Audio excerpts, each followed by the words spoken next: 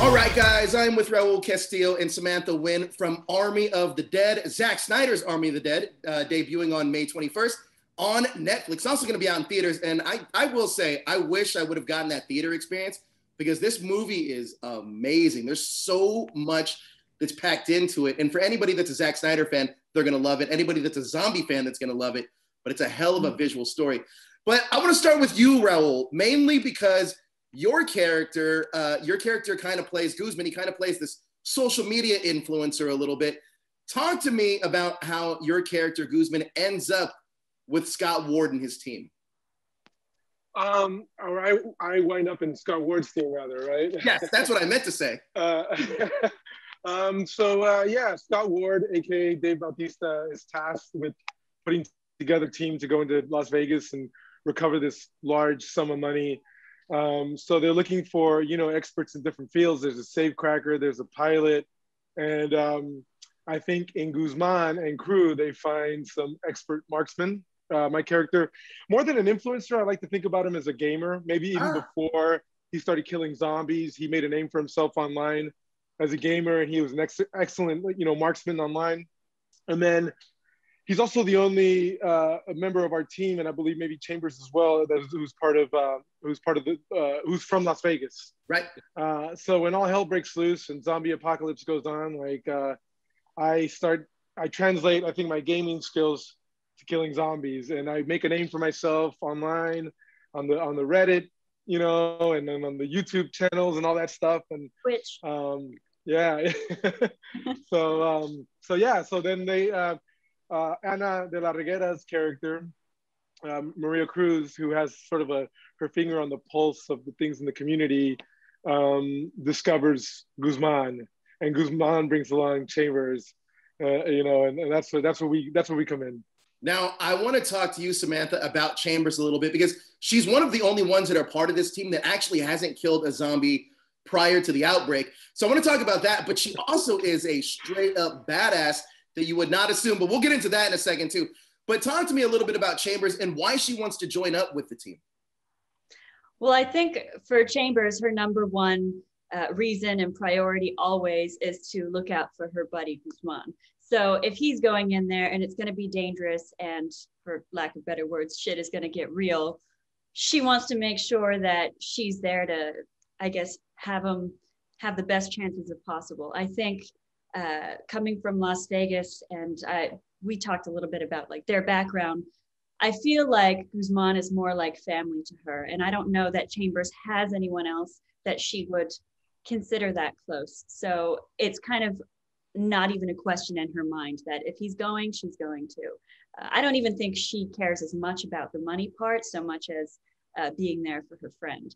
So I think that's it. And then in regards to the other part where I raised my hand at the no zombie killing. Um, it luckily it's not in the script. The world is kind of our, our oyster and how we get to craft it. But my thinking is, yes, we've done a lot of gaming together, probably like VR, uh, shooting kind of games where that's familiar. But also, who's not to say that she hasn't killed non-zombies before. Oh, that, you know what? the one thing I'm kind of learning about uh, Zack Snyder's approach is it's very collaborative. And Samantha, you're a longtime collaborator with Zack. You've been, you know, with, with, with Justice League and everything else. But I wanted to ask you a little bit about that because you brought up the backstories. And I want to talk about the collaboration process a little bit with Zack. And Raul, you even talked a little bit about uh, your character's backstory being a gamer and all how much were you guys given, um, you know, the free reins to kind of create your own backstories within the world of Army of the Dead? We'll start with you, Samantha. Uh, I felt like it was an extremely creative, collaborative process. I feel like Zack was very much the kind of director, and it was a new experience for me because I had not gotten to work with him in this kind of capacity sure. before. Mm. But I, I really felt like he was so open to everyone's ideas and ways that they were crafting their characters to suit you know ourselves and our casting um, i didn't look anything like the character art that was originally drawn for chambers. So it was it was really nice to be able to have that room to to make it fit for someone like myself. So i i had an absolute blast and i felt like he was on board with most if not all of the actors ideas for their characters. And then Raul, is this more of like a blank canvas that you and Zack are kind of creating this character together of, of uh, Guzman? Um, yeah, it did feel like it, even though for me this was like one of the biggest, if not the biggest production I've ever been on, and and I was for sure a little bit intimidated going into it. I didn't know what to expect, and for instance, I I I wanted to make a bold choice and do something interesting because he is this brash character and he's very much a peacock, very different than I am in my in my day to day life. And I came to the table with this idea of maybe like going blonde and to his credit, Zack was really uh, interested in what I had to say about the character and very collaborative. And uh, together with Marie Larkin, the head of our hair department, we kind of came up with this look. And, and it's just a testament to him, how collaborative he is. I, I remember even the day that we were shooting the team going into Las Vegas, not to give too much away, but Zack came to Sam and I and was like, I have this idea. I want to do this shot. Like, you know, it's a huge movie. And I'm sure a lot of these shots were already programmed but on the morning of, he comes to us and he's like, I have this idea. I think you guys should be taking a selfie as you're coming into into Las Vegas. And that was wonderful because it really played into our our storyline, to our characters. So I think that says a lot about Zack and how, you know, how well he how how genius he is at planning, but also how genius he is at recognizing what's in front of him in the moment. And that's mm-hmm. exciting to see on this scale. You know, one thing I absolutely love about this movie too is that all the characters on the surface level can be very very much like caricatures if if you let them be. But each character actually has layers to them. The deeper, deeper, the deeper and deeper you dive. And I kind of wanted to talk about uh, Zack's script a little bit because I mean, look, it's it's easy to say this is just a zombie movie, but it's more than just a zombie movie. It really does a really good job of, of really blending genres. So, what were some of the immediate things that jumped out at you when you first uh, read uh, Army of the Dead? And we'll start with you, Raul. I mean, the first thing that jumped out at me was the humor because I, I know Dawn of the Dead is so dark and I love that movie. I mean, it, it just sort of came out at the right time and it did the right thing. And it, I was already like a zombie fan from when I was a kid and, and that kind of reinvigorated my, my passion for, for the, for the genre. But then when I read this script, the humor really jumped out at me. It was, and now that I saw it all come together in the color palette and the cinematography and the production design, all like it, sometimes you just have to trust. You read something and you know you're working with an auteur and you don't exactly know, but if you if you put if you trust and with Zack, I mean, Sam can attest to this. I think that they, you know they, I mean, he just he creates a space that that it's just easy to trust and, and you just give yourself into it. And I think that's where the best kind of work comes from. Absolutely, Samantha. How about yourself? Uh, what were some of the the big things that jumped out when you first read the script for uh, Army of the Dead? Uh, for me, it was the heist thriller part of it that I was I was most excited about. I got into play in the kind of fantastical, um, you know, especially on Sucker Punch, there were like zombie German soldiers, there were robots, things like that. but an actual like story heist with characters and on and an ensemble cast that I, I was able to be a part of, that was the most exciting for me. I was so interested to see what each actor was going to bring to each of the personalities that was on the page and how we would all come together to to make this ragtag group of people and and to have us complement each other and kind of work that out as we went along that was the the most exciting part reading it through mm. for myself it's it was the newest part for me as well so i yeah. love that now uh, you know there is a there's a great montage that gives us some backstory to some of some of the characters but to really set the tone in the world the first badass real moment we have is with your character, Samantha, uh, because there's oh man, I, I, almost wish there was a camera on me when I was watching. Me and my girlfriend watching that and uh, your character has has has a, we'll, we'll say I don't want to give anything away, but your character definitely has a little rivalry with uh, Martin, played by uh, by Garrett Dillahunt. Um, first of all, before we get into how badass your character is, can you talk about the relationship between Chambers and Martin? Uh, I I'd like to think that I can be like Chambers in this way, but um, she's extremely observant, and I think I think her being a little bit quiet and hanging back speaks to her her um, I don't want to say mistrust in people, but her uh, extra caution. Right. And so I think that ends up being extremely extremely valuable when interacting with Martin's character. Uh, and I think she's one of the first to kind of catch on to that. So she very much has a sheepdog kind of place in the team in the beginning because I think she she wants to make sure a that her best friend is okay and then B, that, um, you know, things go as planned. And if, if she's walking in the back of the group, then uh, she's better able to keep an eye on everything. Yeah, there's definitely that sequence where uh, you guys are kind of going where, I mean, I'm not going to give anything away, where you guys are going through and the zombies are almost hibernating. And I, I was absolutely tense for your character. And then how that that whole scene kind of played out, I was just like, oh my gosh, what can happen next? It's so much fun. But I wanted to ask you a little bit about uh, the action because let's let's not forget this is also an action movie, and the action is very intense. How much training went into uh, some of the action, the action set pieces that that we find in Army of the Dead? Yeah, because your character really sets a tone with it, Samantha. Thank you. Uh, well, it, you could say that we spent about a week learning the choreography and then um, a day shooting the leading up into the action sequence and then a day shooting the actual action sequence. But the reality is that I've worked with Damon Caro since Sucker Punch all right. the way back in 2009. And Matt Righetti, Wayne Dalglish, a lot of these same team from back on Sucker Punch is still working with Zack today. So I'm sure it was an accumulation of the last 10 years of working together. Uh, and Damon very much taught me fight choreography and taught me the style that I have today. So I, I think it was just a well-oiled machine by then. And it was almost like I felt like I was an extension of Damon's uh, fight choreography brain, and so we all we all ended up working together very well. So I think we did a lot with the amount of time that we were given, but due to a lot of training ahead of time. Now, Raul, something that I found super interesting that you said earlier is that the choice for the blonde hair was really yours. What else did you want to bring to the character of Guzman that that uh, may not have been on the page? I mean, for me, it was always about. I mean, I remember day one in the makeup chair. It's like locating Samantha in the makeup trailer and going like, "You and I need to connect.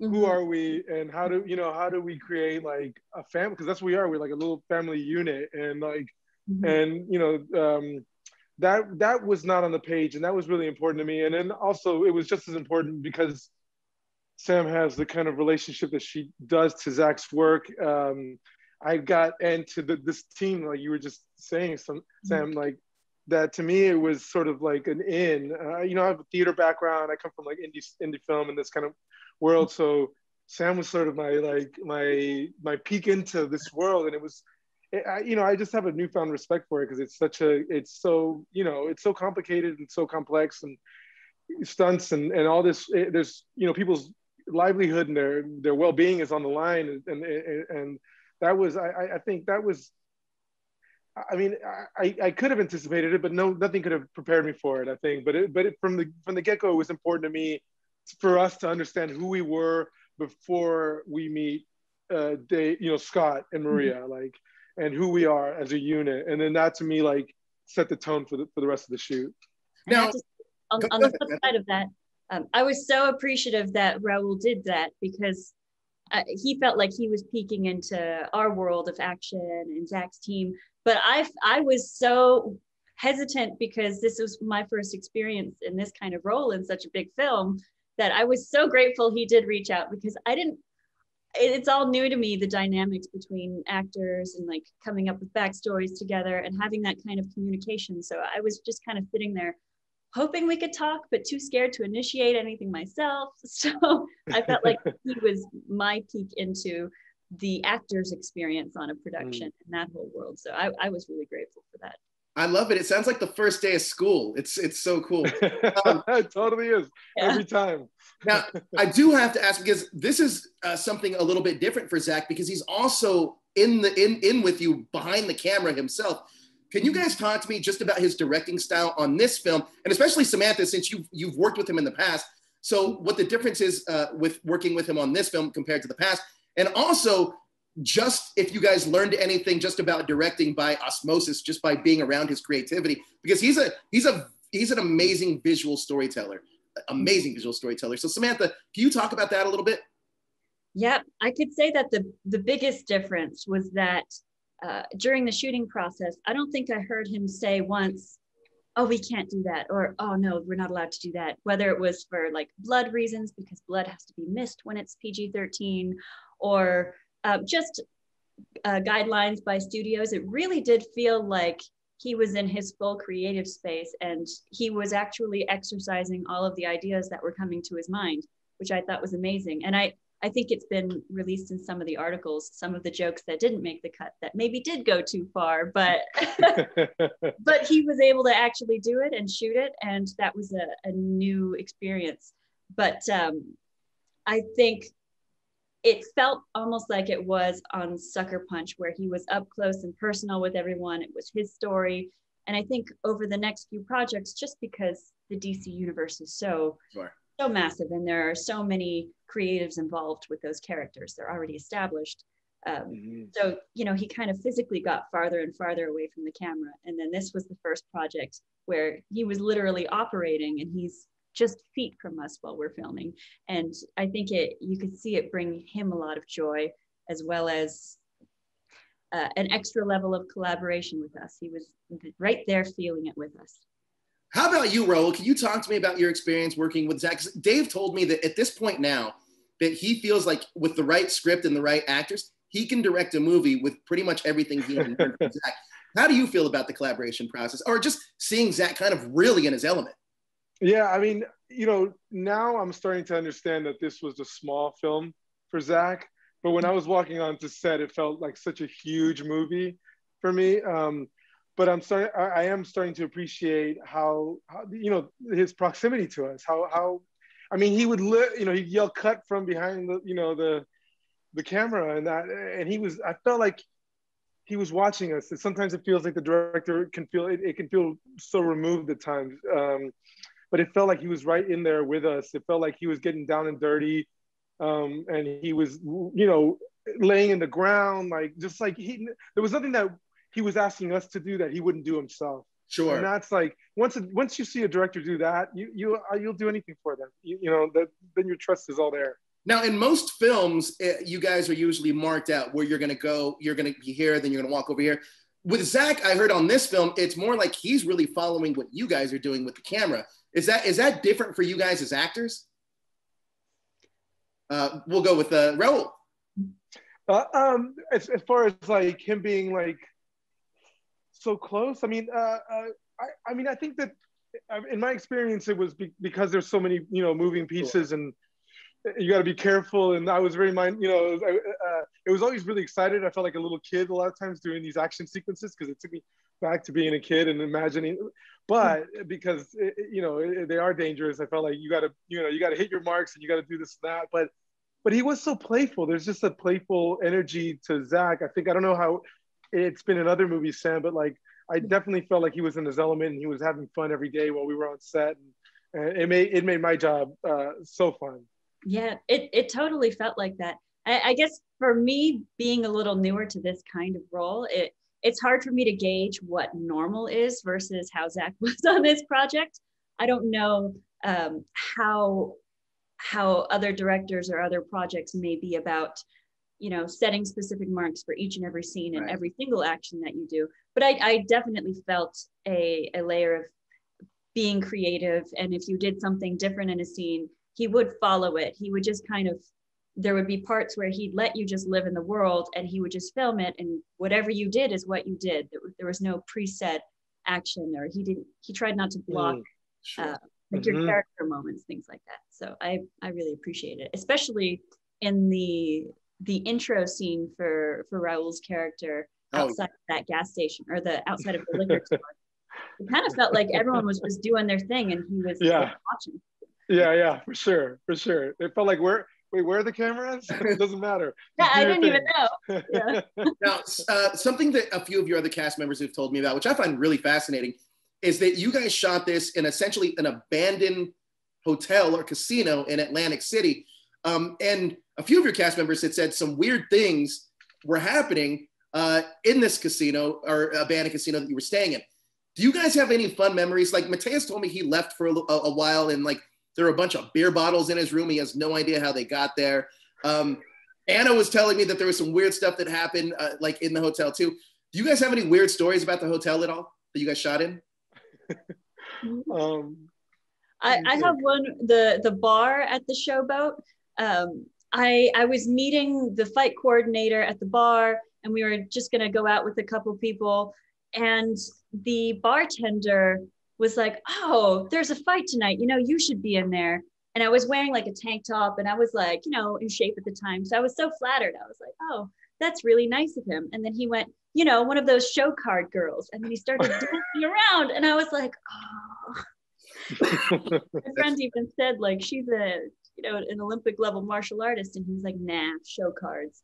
Wow. Like, wow. This is a, this is like a time capsule. To hear that nowadays is so so jarring but you know some people i think just don't know better he was obviously very well intentioned so oh, do you have any uh, stories about the place uh, you guys stayed in or shot at no that hotel was it was there was a weird energy in that hotel for sure but mm-hmm. I, I didn't i didn't experience anything too weird thankfully it was like it was like there was a reason that the, the i think we shot in there because it was being demolished or it was on its way out. Mm-hmm. So it definitely felt like it was on its kind of way out, like it had seen its better day, like you know, like this this uh this hotel. But um they're like but it put us right driving. No. Yeah. no.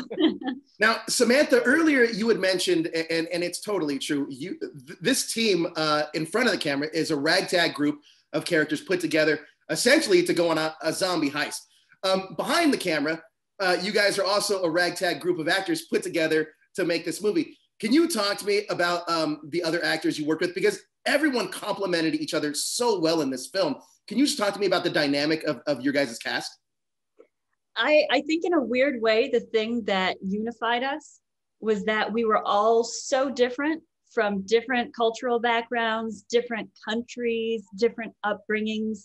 It really um, banded us together in that no one really had many shared experiences. So we were mm-hmm. all learning it and accepting it and uh, having this new shared experience through new lenses all together. It was it was not that anyone was left out or anyone was a misfit because we were all misfits. So that really lended itself to it to the right. story. Now, Raul, zombie movies have been around, you know, for, for a long time. Uh, but Zack is such a visual storyteller and he really understands the process of stories. Uh, can you talk to me about what this adds new to the zombie genre? Well, there's the alphas, right? The um, alphas, which we'll talk about. Yeah, absolutely. There's like a supreme kind of zombie. So, I mean, I, I, you know, at the end of the day, I think Zack. I mean, I thought, you know, before theater, before film, any of this stuff, I love zombies and horror movie makeup and Rick Baker and like that was like I love that world and that, that was so fascinating to me. But I think Zack really he just knows he knows what's he, he understands the zeitgeist yeah i think in a way that few people do and uh, it's hard like i would work for him again in a minute because he's such a he's such an incredible leader and you and you feel that like with his crew i, I feel like everyone and sam can attest to this but like everyone on that crew uh, you know in front and behind the camera there was this kind of everyone was so dedicated and so happy to come to work every day there was a sort of of joy uh, uh, in, in the spirit of the work.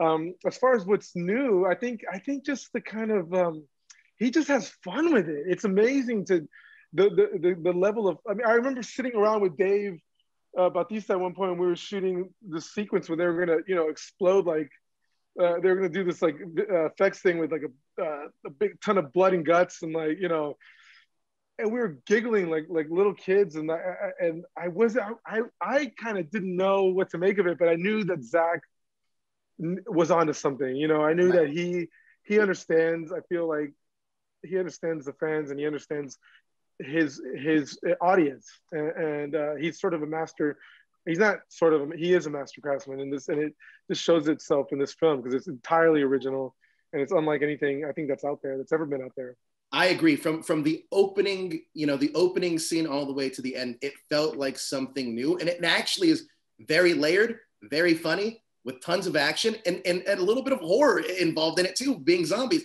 But Samantha, speaking of that horror element a little bit, we do get introduced to these new alpha zombies. Without giving too much away, uh, can you briefly explain what the alphas are? As as uh, hinted in the trailer, they are faster, they're smarter, and they're organized. And I think you can see in in the trailer there was one uh, shot that seems to be talked about quite a bit, and that's when Dave is slashing at this zombie, and he's literally like, "Whoo, whoo," and he's Mm. dodging. So I think that can give a, a nice little tease to people as to what exactly those zombies are capable of. But I think uh, instead of just adding the speed element, they really are a a whole other uh, team. They're a, a threat as a team rather than individual um, mindless zombies. So uh, yeah, Mm. I guess without spoiling, people can expect a, a much more difficult challenge when it comes to the the slaying part.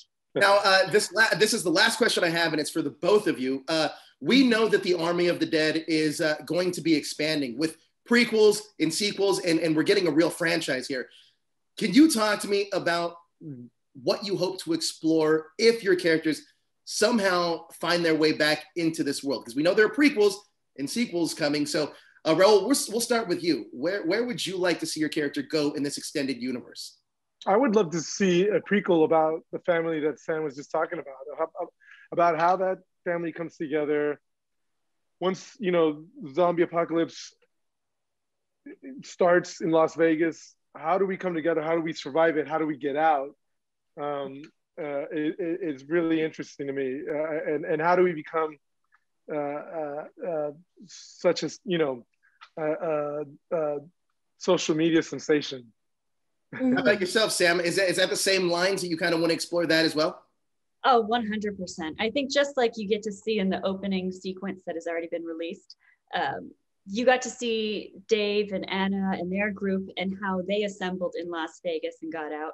But what about all of the other groups of people that got out while the wall was being built? So there's a whole story for other characters, even in just that opening sequence. And I feel like that is one I'd love to explore with our characters and our team.